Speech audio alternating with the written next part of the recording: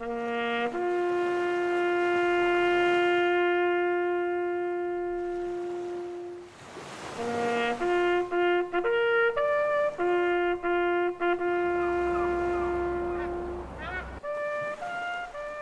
1945. At a memorial on Singapore's seafront, the words Ittifaq, Etmad, Kurbani etched on its three marble pillars. Unity, faith, sacrifice, the motto of the Indian National Army. A small group of people stand in silent homage. The tricolour with the charkha flies at half mast. Major General Muhammad Zaman Kiani places a wreath on the INA Martyrs Memorial. A wreath in tribute to the man known simply as Netaji, to thousands of soldiers of the Indian National Army, and to an entire nation. Now mourning his death in an air crash on the 18th of August.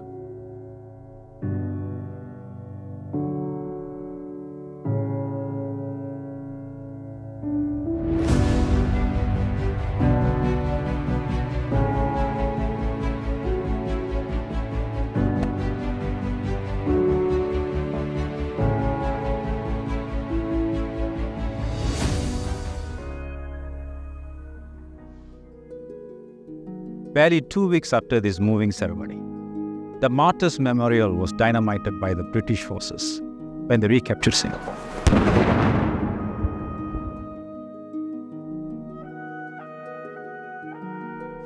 My uncle was in the and I remember him telling me many Indians in Singapore came quietly at night to collect the fragments of the shattered memorial. And 50 years later, the Singapore government erected this marker. And since then, this site has been a pilgrimage site for many of the Indian visitors paying homage to one of their beloved leaders. So that's why you brought me here. I'm sure you know Netaji's story, right? But do you know Singapore played an important part in his story?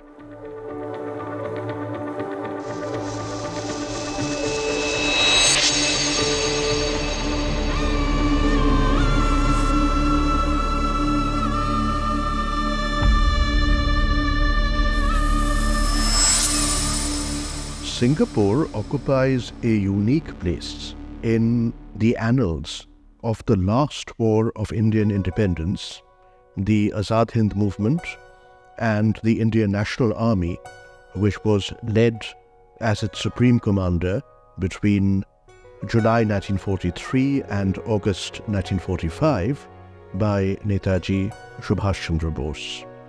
This is so fascinating. How did the last war of Indian independence start on the soil of Singapore? And do people here still remember Netaji and his army? And how did Netaji even choose Singapore as theatre of his war against British imperialism? Well, Netaji's Singapore saga started with a rather dramatic event. Selva's narrative begins in British India in the city of Calcutta.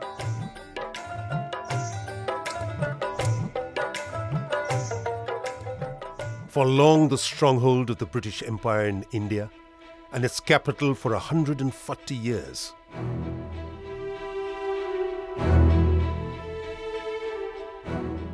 It was also a place where ideas of freedom and nationalism captured the imagination of many Indians. One of them was a young man named Subhash Chandra Bose.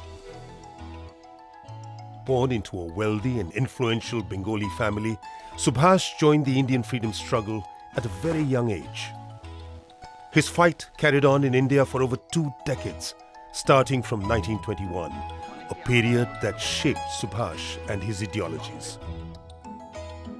He was arrested frequently, imprisoned for long stretches, and even forced into exile by the British. He was also elected twice as the president of the Indian National Congress. In January 1941, he made a fateful move. A move that was the start of a remarkable chapter in the story of the Indian freedom struggle. A move that led him through Europe to Singapore.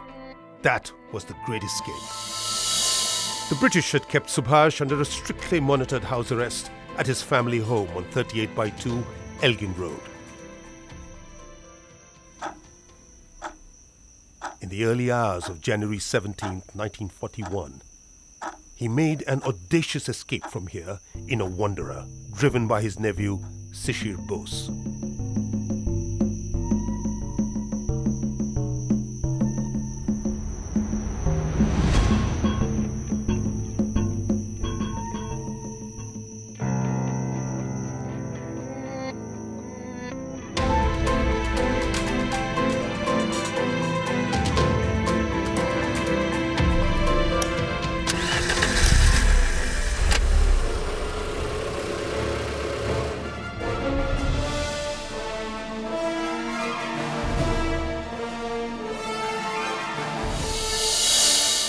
Subhash eventually reached Europe. His plan was to set up an Indian government in exile there. He also wanted to create the Azad Hind Fauj, or Free Indian Legion, a force made up of Indian prisoners of war. But the war suddenly took on a new dimension in the East, with the British surrender of Singapore in February 1942. From that point onwards, Singapore emerged as the epicenter of what became the Azad Hind movement, led by Netaji from 1943 to 1945.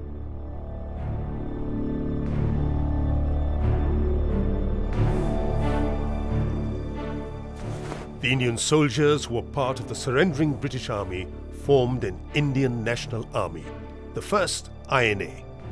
This set the stage for the Azad Hind movement in Asia. The first INA floundered, and by the end of 1942, it became moribund, principally because of a lack of leadership. Now, that problem was resolved once Netaji, after his epic three month submarine journey from Northern Europe, finally arrived in East Asia and reached Singapore um, to mass acclaim.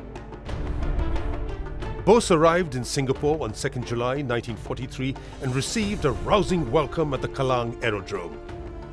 Indian National Army commanders J.K. Bhonsle and Muhammad Zaman Kiani received him at the airport. The INA soldiers gave him a guard of honor.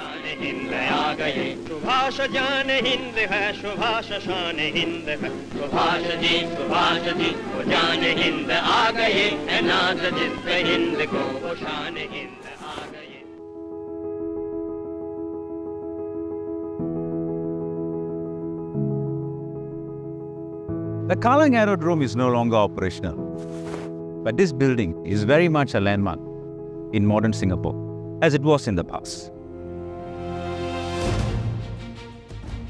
Selva tells Janaki it was here, at the Cathay building, that Netaji made his first public appearance in Singapore.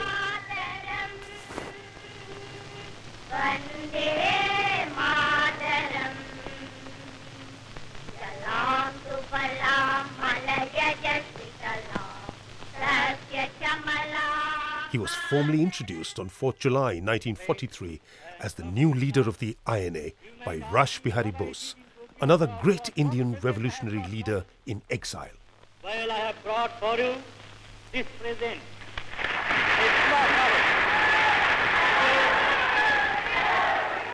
Sri Rash Bihari Bose, पूर्वी Asia की जंग आज़ादी के नुमाइंदों बहनों और भाइयों मैं आप लोगों के दिली इस्तकबाल के लिए और साथ ही साथ आपने जो मुझको पूर्वी एशिया की जंग आज़ादी के नेता बनाया, इसके लिए भी तय दिल से आप लोगों का शुक्रिया अदा करता हूँ। क्योंकि अब ये वक्त निहायत नाजुक है। मैं इस ज़िम्मेदारी को कबूल करता हूँ। और खुदा से दुआ माँगता हूँ उन्होंने हमें वो ताकत, वो जोश और वो बहादुरी दें, जिससे हम अपने हम वतनों की पूरी पूरी मर्ज़ी के मुताबिक लड़ाई लड़ी और हिंदुस्तान को आज़ादी पहुँचा।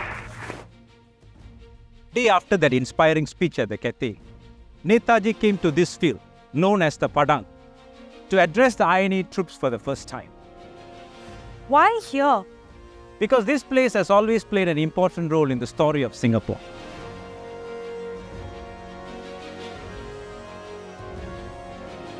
History says that a king called Sanga Nila Utama spotted the legendary Singa, or lion, here in the 13th century. He established a kingdom here and called it Singapura. 500 years later, Stamford Raffles set up a trading post in Singapore. The sepoys of the British East India Company who came with him set up camp here on the Padang. On 5th July, history was once again made here at the Padang. More than 15,000 soldiers of the Indian National Army assembled here to hear Subhash Chandra Bose for the first time. Netaji called it the proudest day of his life. So, Janaki, imagine the scene. Netaji stands here and announces to the world that India's Army of Liberation, Azad Hind Fauj, had come into being.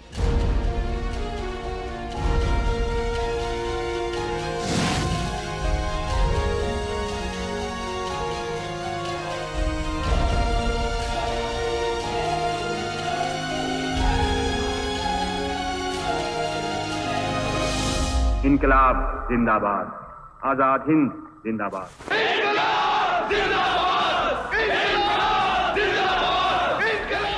Bose gave them the battle cry, Dilli Chalo.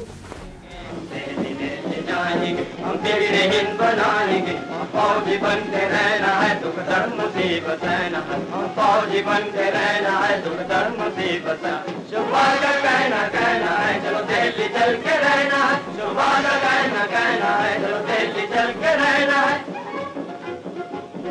Delhi Delhi जाएंगे हम बिगड़े हिंद बनाएंगे हम दिल्ली दिल्ली जाएंगे हम बिगड़े हिंद बनाएंगे हम गोली Just a few weeks earlier, Bose had given a series of inspiring radio broadcasts from the region. Hour has struck, and every patriotic Indian must advance towards the field of battle. Only when the blood of freedom-loving Indians begins to flow will India attain her freedom. Bose expanded on that idea during his next rally at the Padang on 9th July. He addressed a crowd of over 60,000 people. These weren't just INA soldiers, but also thousands of civilians. He called on the 3 million Indians living in East Asia to mobilize all their available resources, including money and manpower. Half hearted measures will not do, he thundered. I want total mobilization and nothing less. Tens of thousands of civilians from the Indian and Indian origin communities throughout Southeast Asia from that point on volunteered to join the Indian National Army as soldiers. They were trained and they became active freedom fighters as well.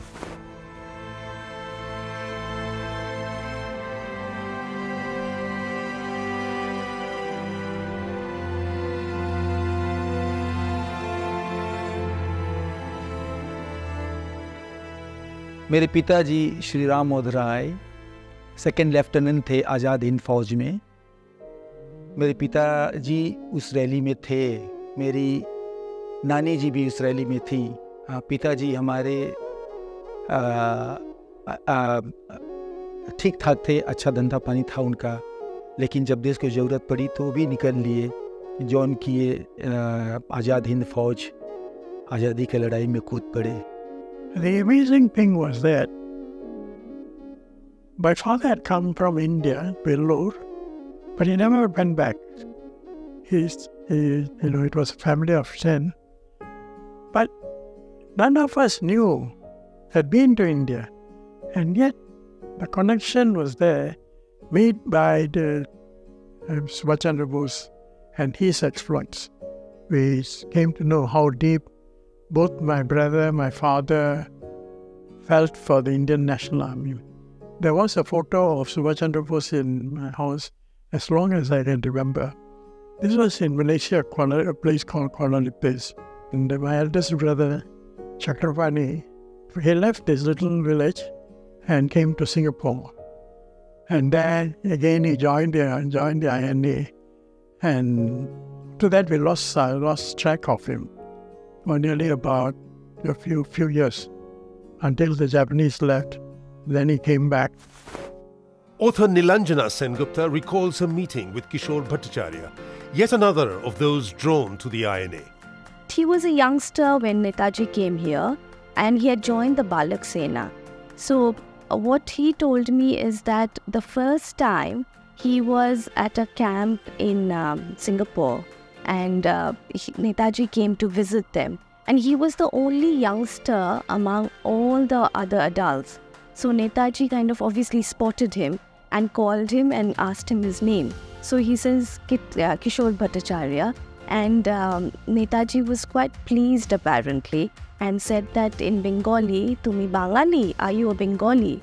And uh, when Kishore nodded his head, um, he kind of encouraged him and said that, you know, this is the path that we need to take and devote your life to your country. You will never know any other mission which can satisfy you more.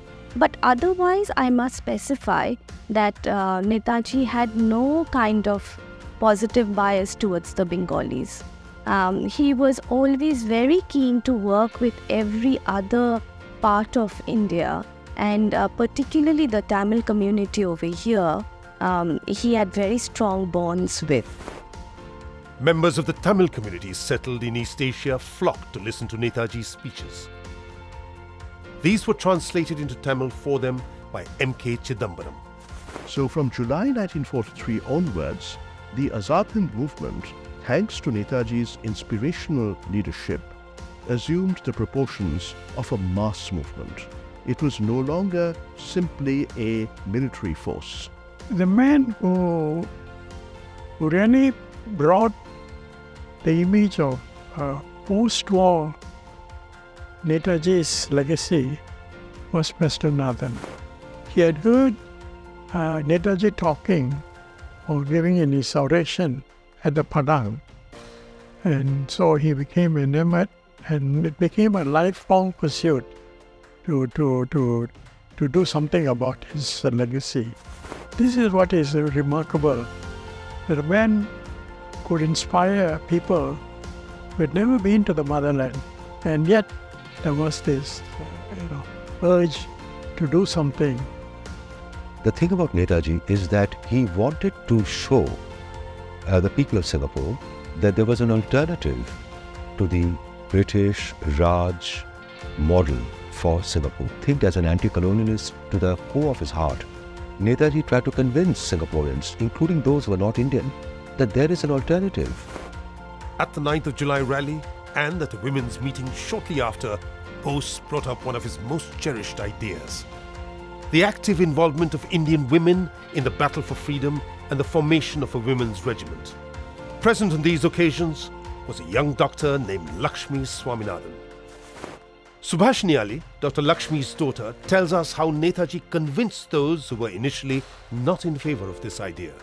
He didn't agree with them and he said, You just find one woman who can be developed into a leader and then you see what we do. You don't know Indian women. And he said that they are very, once they decide to do something, then they're, you can't move them. You, they, don't, uh, they don't surrender. Subhashini Ali recalls the story of how her mother, Dr. Lakshmi, came to be associated with Netaji and the Rani of Jhansi Women's Regiment of the INA. So then he said, What about that lady doctor who came to meet me? Why don't you send for her now? So she came at night. And then he immediately put this proposal, and she was so excited because she was actually feeling that there's no role for her in all this excitement that was surrounding her, and there was nothing for her. So she immediately agreed and said that nothing could be more, you know, what I would like to do than that. So then he said, well, when can you start work? She said, tomorrow. What about your practice? And no, should I just put a lock on my clinic? And uh, she started the next morning, they found her an office And then, you know, that office be- uh, was improved, and then she was given a ground, and then the recruitment started. And it's very interesting because Netaji was so involved that he would go with her also, or take her with him to different parts of Southeast Asia where they would appeal for women to come forward. Most of the recruits came from very uh, poor fam- backgrounds, and most of them were South Indians, Kerala and Tamil Nadu. About, I think, 75%. They were the ones who came and became Ranis. हम भारत की बेटी हैं अब उठा चुकी तलवार हम The girls presented a guard of honor to Bose on 12th July. अब उठा चुकी तलवार हम भारत की बेटी हैं It was only 24 recruits at that stage, led by um, Dr. Lakshmi Swaminathan, who came to be known as Captain Lakshmi from that point onwards. And the women were still dressed in saris, they had long hair, but they were carrying uh, 303 Lee Enfield rifles that they had been trained to handle by male INA officers. A big part in organizing the women at this stage was played by a lady called Daisy Chidambaram. Daisy Chidambaram, a very interesting figure. Um, she was one of the rare women in the South Indian community of Singapore who was very well educated at that time. She was um, educated in a convent. She had learned both French and English and very active in the Kamala Club. So, obviously, she was quite a well known face in the Indian community here. And uh, it is not very surprising that Netaji contacted her, one of the first women to be contacted in Singapore, to start the Rani of Jhansi regiment. Though, of course, Daisy never became a part of the army. She remained in the background and organized all the events, the cultural events um, that were organized at the Jalan Besar Stadium. Gradually, other young women also joined the regiment. मेरी माता जी रा, रानी Jhansi regiment में join हुई थी अ, माता जी को मेरी नानी जी ने ही ने प्रेरित किया था कि देश को ज़रूरत है जो भी कर सकती हो करो आगे बढ़ो और ज्वाइन करो पंद्रह सोलह साल की रही होंगी उस समय। ये लोग ज़्यादातर उस समय जैसे सिपाहियों को जो चोट वोट लग जाती थी, फ़र्स्ट एड का मदद करती थी जाकर, पानी पिलाती थी और जगह जगह जैसे अगर कहीं रैली वगैरह ऑर्गेनाइज हो रही है तो ये लोग जाकर वहाँ मदद करती थी, जुलूस भी निकालती थी, जैसे मार्च निकालती थी और लोगों को प्रेरित करने के लिए। इन सब इन लोगों का रोल उस समय वो था क्योंकि अभी बच्ची थी The story of Lakshmi's deputy commander is also an interesting one. Janaki Thevar, just 18, was from an affluent Tamil family of Kuala Lumpur. Uh, many stories have been told about that, how she uh, went to the Padang and uh, heard him speak, and how she had told uh, my grandfather that uh, he that you know she was just going for a bicycle ride, but um, then she spent pretty much the whole afternoon waiting for him The young Janaki was so moved by Netaji's words that she even gave away her gold ornaments when he called for donations and volunteers. She and a group of girls then signed up for the regiment and left to train in Singapore. there were a group of um, Tamil uh, young lady Tamils, all educated in convents. There was um, somebody called Devani, and then her sister. Then there was my mother's sister called Papati. They seemed to have uh, grouped and joined. And the instigator behind this was my mother. So, um, uh, so she was obviously sufficiently moved, and so she she she got my grandfather to agree because all these girls were going as well. And um, uh, but I don't think my grandfather could have dissuaded her in any case, any event, because she was she was quite a willful person and strong-minded. and um, remained that way all her life.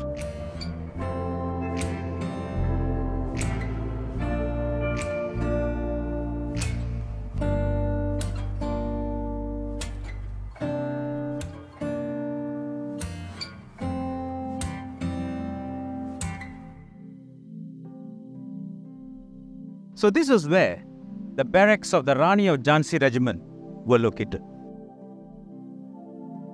And this place was organized by Attavari Yellappa, who was the president of the Indian Independence League in Singapore. And that's the Singapore Arts Museum. In those grounds, the Rani Street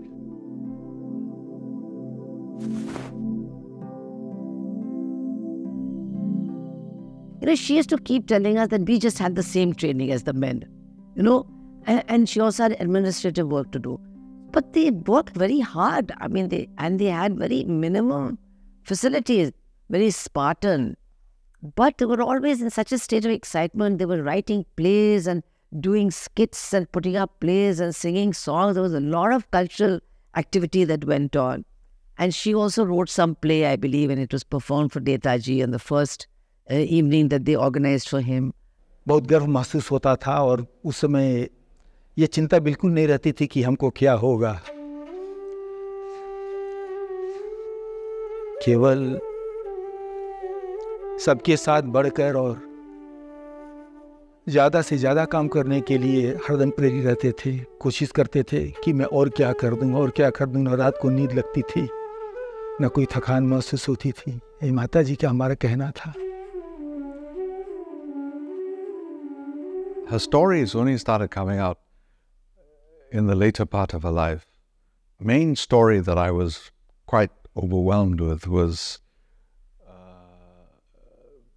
the care and um, concern that Netaji had for the um, Ranis. He used to come very often to see how the training was going on, and he was very, very strict about no misbehavior uh, with women.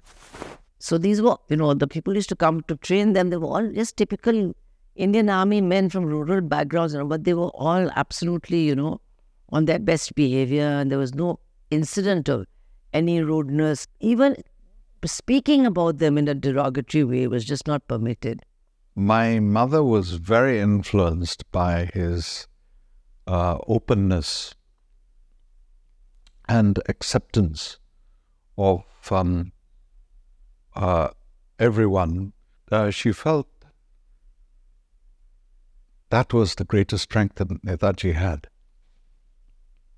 This openness of spirit.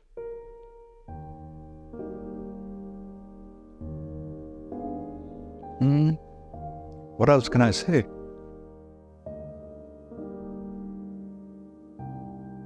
Netaji wanted the women's regiment to be as professional as the other regiments in every way. By late 1943, the saris of the Ranis had been replaced by a smart uniform. Jodhpurs with tucked in bush shirts, black buckled shoes, a cap covering their now short hair. Their training became more rigorous, and their courage and conviction grew with every passing day.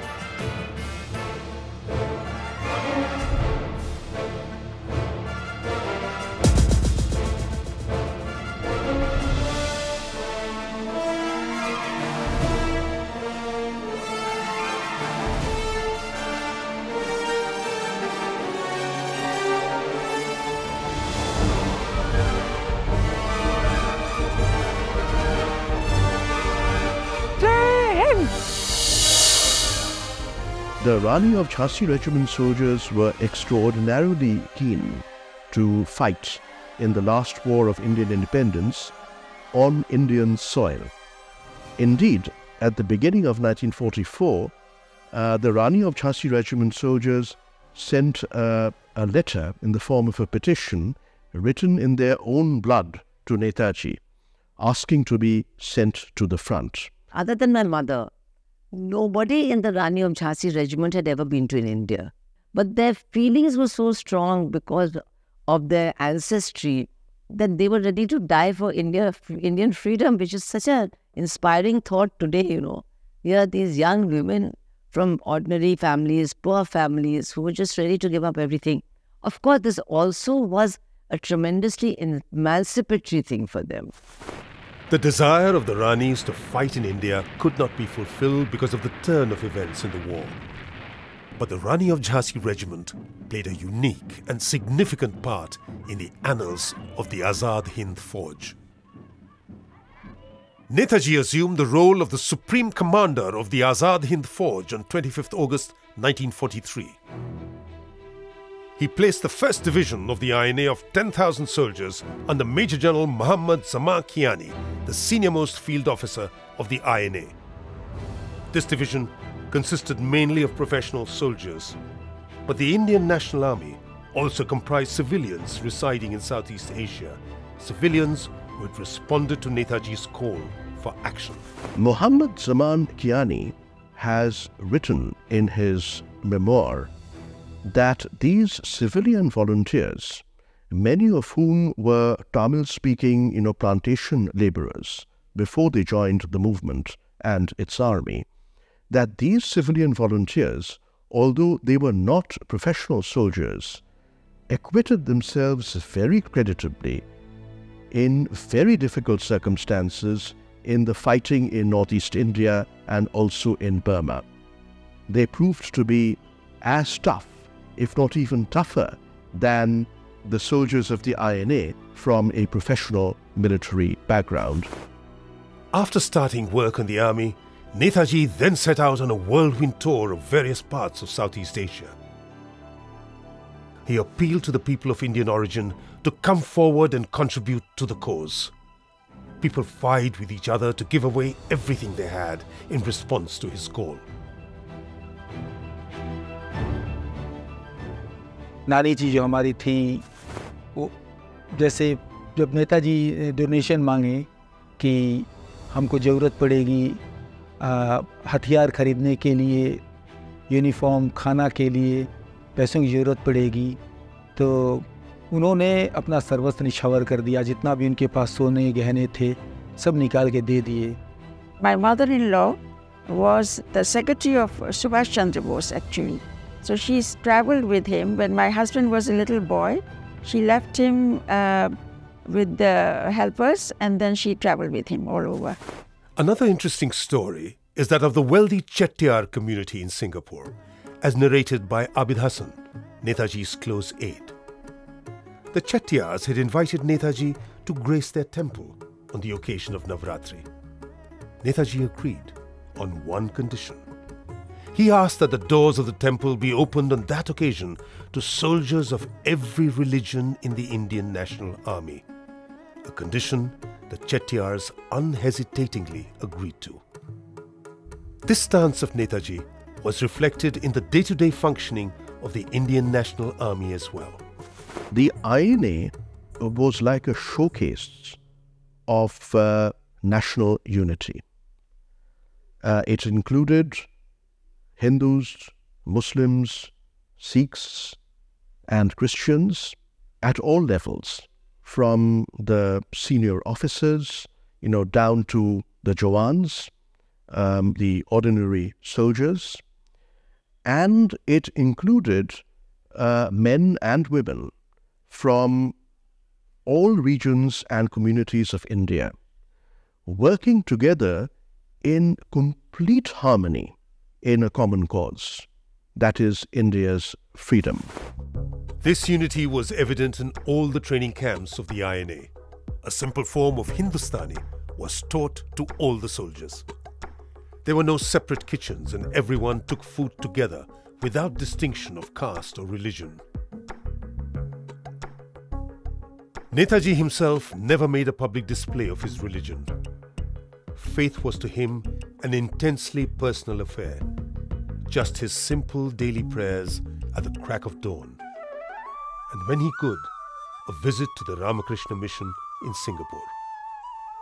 He would change from his military attire to a silk dhoti and meditate for an hour or two in the shrine. These were probably the only moments of respite that he had in an otherwise grueling schedule.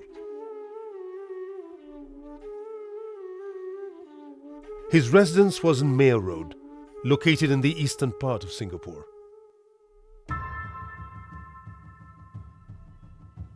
It was here that he worked tirelessly on the military and administrative aspects of the Indian National Army.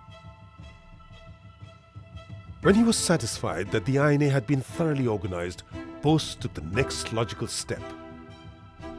On the 21st of October 1943, Netaji proclaimed the first provisional government of Free India outside India in Singapore, the Arzi Hukumat-e Azad Hind. A historic moment in the Indian freedom struggle that also unfolded at the Cathay building. The tricolour with the Gandhian charkha was adopted as the national flag. The cabinet was formed with Netaji as the Prime Minister and Minister of War and Foreign Affairs. An interesting story unfolded at this time in a distant corner of Singapore. The story behind the creation of the national anthem of the provisional government of Free India that was adopted by Netaji and his colleagues of the INA. Jana Gana Mana by Rabindranath Tagore was their first choice for an anthem. Netaji agreed with them, but he wanted one thing changed. He wanted the words to be in simple Hindustani. Colonel Abid Hassan, his colleague Sayyid Mumtaz Hussain, and Ram Singh Thakur, the music director of the INA's orchestra, took up the challenge. They went to a quiet spot outside the city limits of Singapore. Accompanying them were a few soldier musicians of the INA, and they started work on the song.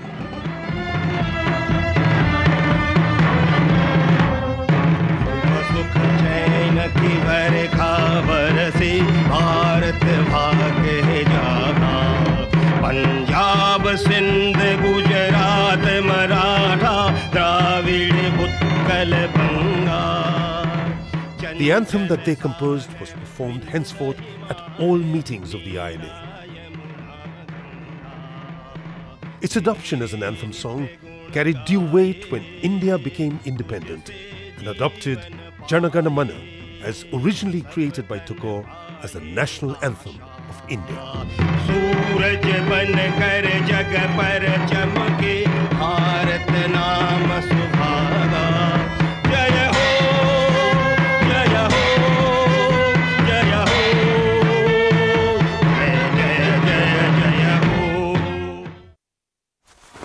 On October 24, Netaji addressed an audience of over 50,000 Indians on the Padang. He announced that the provisional government of Azad Hind had declared war on Britain and America. And when I say war, he roared, I mean war. War to the finish. A war that can only end in the freedom of India. As the soldiers raised their bayonets and shouted revolutionary slogans, the crowds went into a frenzy. They broke the cordon and surged towards the platform where Netaji stood, cheering him till their throats went hoarse. After this declaration, Netaji travelled extensively, seeking and receiving the support of several Asian nations for the Azad Hind government. And then, as a prelude to the war that was to be launched from the northeast frontier of India, Netaji moved the headquarters of the INA and the Azad Hind government to Rangoon, present day Yangon. Netaji also established the Azad Hind Bank in Rangoon to manage funds donated by the Indian community. A very important role in raising these funds was played by Attavar Yelappa. Dr. Lakshmi has said of him that he single handedly collected large sums of money from Natukottai Chettiars in Malaya and Burma, as also from Sindhi and Sikh businessmen. Well, the Azad Hind Bank was a unique institution because it uh, it created a currency that was backed by gold, and uh, the currency did not lose value. Now, in in uh, the Jap- Japanese-controlled parts of uh, of Asia, uh, towards the end of the war, a lot of the currencies uh, lost value very quickly because they were printing too much money, and production wasn't keeping keeping up with the amount of currency being created, and so you had an you had a significant inflation problem. But interestingly, because the uh, Azad Hind Bank's currency was backed by gold, it held its value much better. In fact, it, it, it basically held its value well. It ensured that the INA and the Provisional Government of Free India were independent of, ja- of the Japanese. On March 18, 1944, the INA crossed the Indo Burma frontier towards Imphal and Kohima and took the battle for freedom onto Indian soil.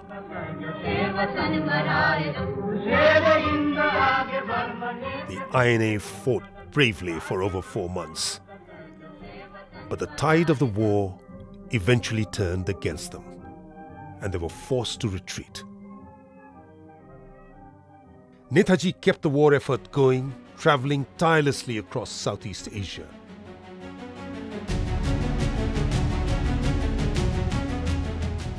On July 8th, he laid the foundation stone of the INA Martyrs Memorial in Singapore. He entrusted the task of building it to Colonel John Stracey, an Anglo Indian officer in the INA. Netaji's last public appearance in Singapore was at a play on the life of Rani Lakshmibai of Jhansi, enacted by members of the Women's Regiment. At the end of the performance, he sang the national anthem. And the 3,000 men and women of the INA assembled in the open air theatre sang along with him.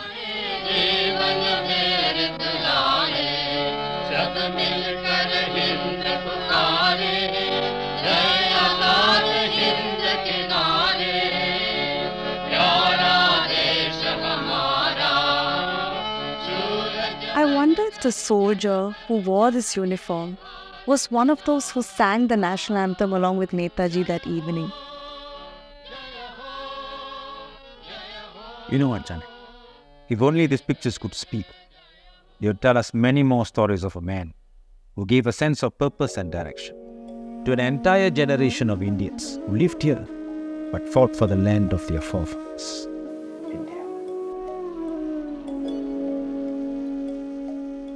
Thank you so much, Uncle Selva, for sharing this amazing saga with me. This will definitely be one of my most cherished memories of Singapore.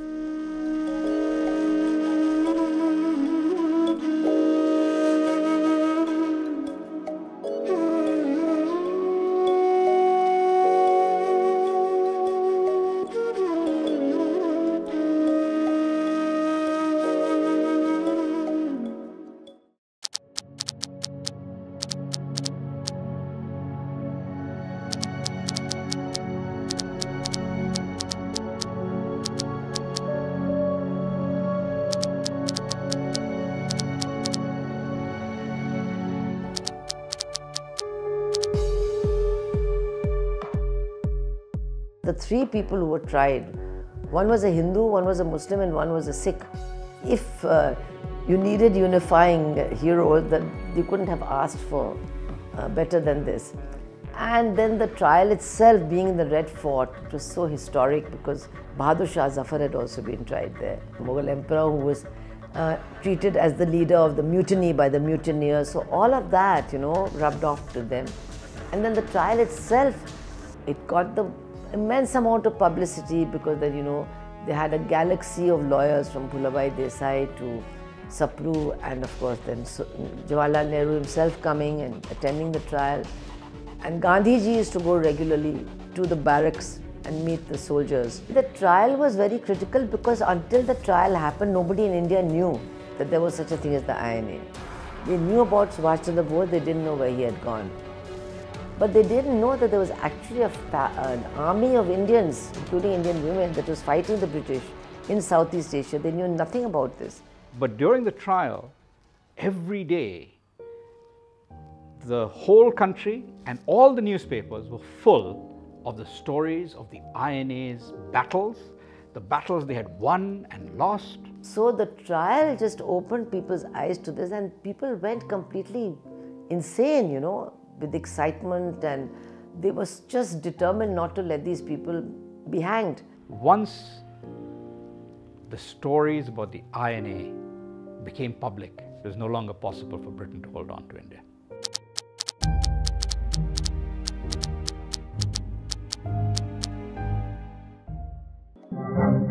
बनाए जा खुशी के गीत गाए जा ये जिंदगी है कौम की तो कौम पे लुटाए जा ज़िंदगी है कौम की कौम के लुटाए शेर हिंद आगे भरवने से फिर भी तू न दम उड़ा के दुश्मनों का कर्ज से वतन मराए शेर हिंद आगे भरवने से फिर भी तू न दम उड़ा के दुश्मनों का कर्ज से वतन मराए दम